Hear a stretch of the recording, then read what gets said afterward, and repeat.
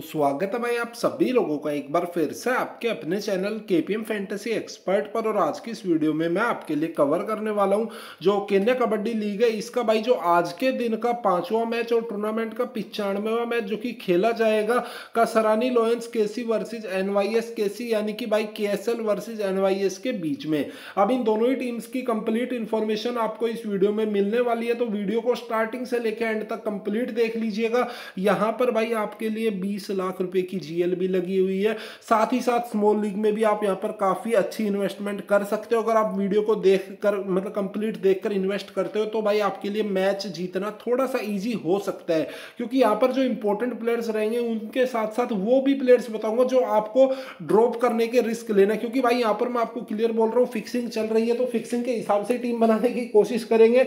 मतलब जिस लेवल पे वो फिक्सिंग कर रहे हैं, उस हिसाब से टीम बनाने की कोशिश करेंगे। बाकी हो सकता है भाई ना भी बन पाए बट मैं अपना बेस्ट देने की ट्राई करूँगा और यहाँ पर देखिए ये चीज़ शोर है कि यहाँ पर फिक्सिंग चल रही है। तो इन्वेस्टमेंट आपको बिल्कुल ध्यान से करनी है। अगर आपके पास पैसे है इन्वेस्ट करने के, तभी करनी है। ऐसा नहीं कर्जा लेके कहीं से या कुछ और कहीं से उठा के इन्वेस्ट कर दिया। क्योंकि आपको पता आपका भाई हमेशा आपको कबड्डी में बेहतरीन रिज़ल्ट देता है। लेकिन भाई केन्या कबड्डी में थोड़े से रिज़ल्ट हमारे एवरेज हुए और स्पेशली स्मॉल लीग के।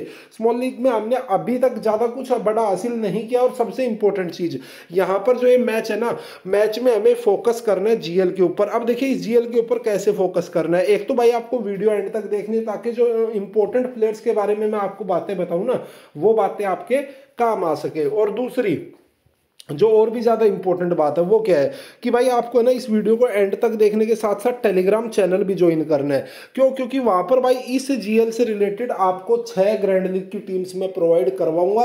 तो अगर भाई, आपको छह ग्रैंड लीग की टीम्स चाहिए तो भाई, आपको टेलीग्राम चैनल ज़रूर ज्वाइन करना है। नीचे डिस्क्रिप्शन में लिंक है वीडियो के फ़र्स्ट कमेंट में लिंक है। दोनों जगह आपको लिंक मिल जाएगा। तो अगर अभी तक आपने टेलीग्राम चैनल ज्वाइन नहीं किया है तो ज्वाइन कर लीजिएगा। क्यों? क्योंकि भाई फाइनल टीम्स आपको वहीं पे मिलेंगी, ठीक है?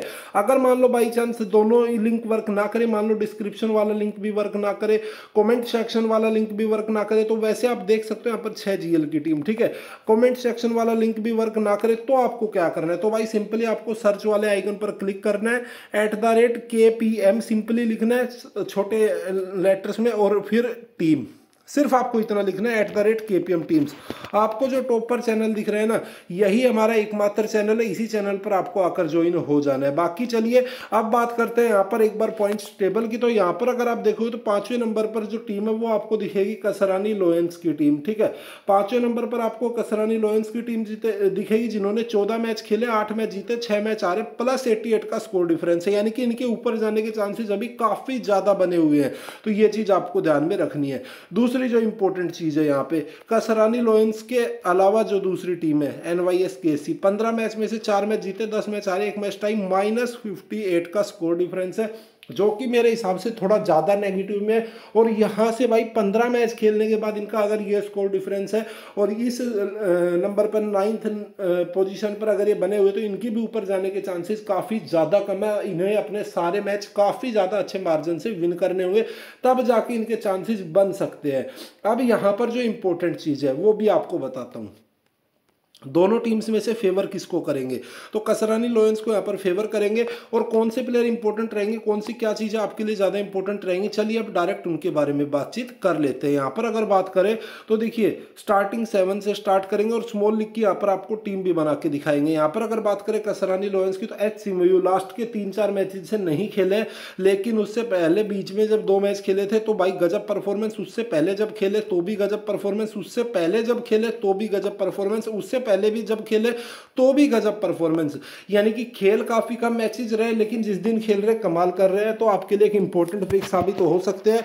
इवन ग्रैंड लीग में तो आप इन्हें कैप्टनसी भी दे सकते हो। एम ओमलो की बात करें, ये आपको लगातार खेलते दिखेंगे, और बहुत ही शानदार प्लेयर है। हालाँकि कंसिस्टेंसी थोड़ी सी कम नज़र आती है बट फिर भी आपके लिए एक इंपॉर्टेंट पिक साबित तो हो सकते हैं।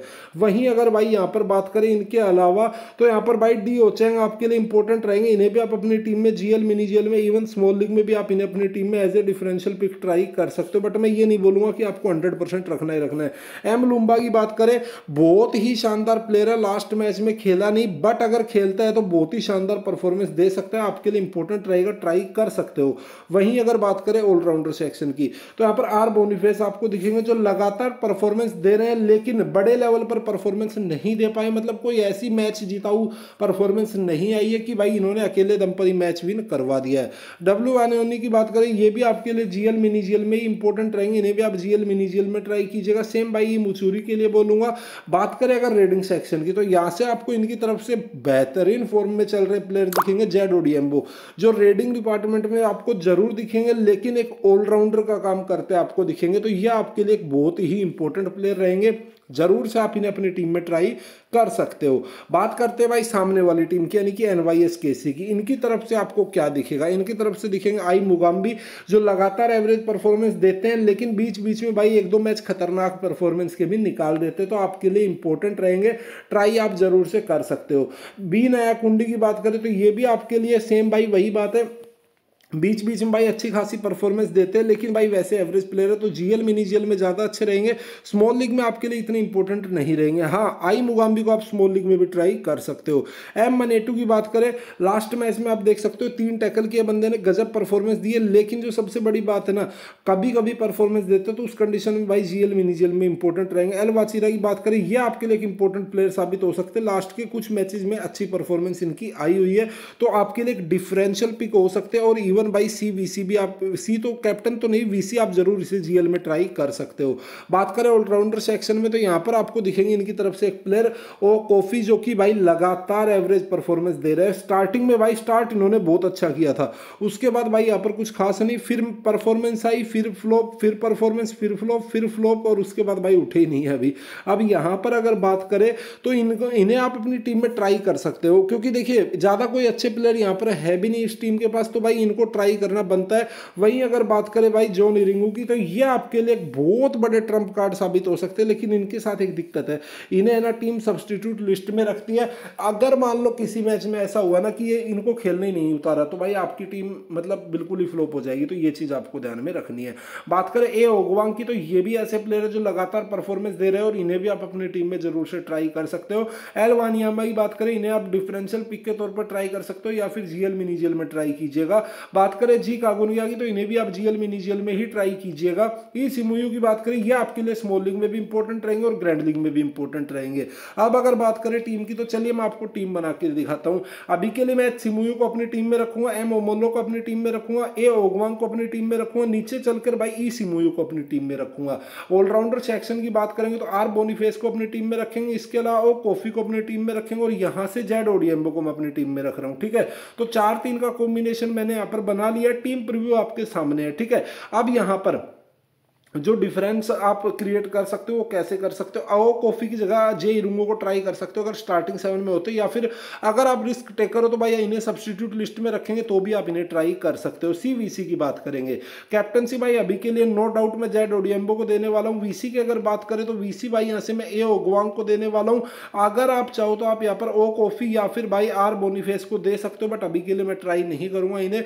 टीम प्रिव्यू की बात करें तो आपके सामने ऑलमोस्ट ऑलमोस्ट फाइनल टीम है। कोई भी अगर चेंजमेंट होता है तो आपको डायरेक्ट इन्फॉर्मेशन मिलेगी टेलीग्राम चैनल पर साथ ही साथ भाई छह जीएल की टीम भी आपको टेलीग्राम चैनल पर मिलेंगी अभी के लिए आप इस स्मॉल की टीम को सेव कर सकते हो उसके बाद भाई टेलीग्राम चैनल ज्वाइन कर सकते हो जहाँ पर आपको छह जीएल की टीम मिलेंगी लिंक नीचे डिस्क्रिप्शन में वीडियो के फ़र्स्ट कमेंट में मिल जाएगा बाकी मैं मिलता हूँ दोस्तों आपसे मैच टाइम पर टेलीग्राम चैनल पर तब तक के लिए जय हिंद वंदे मातरम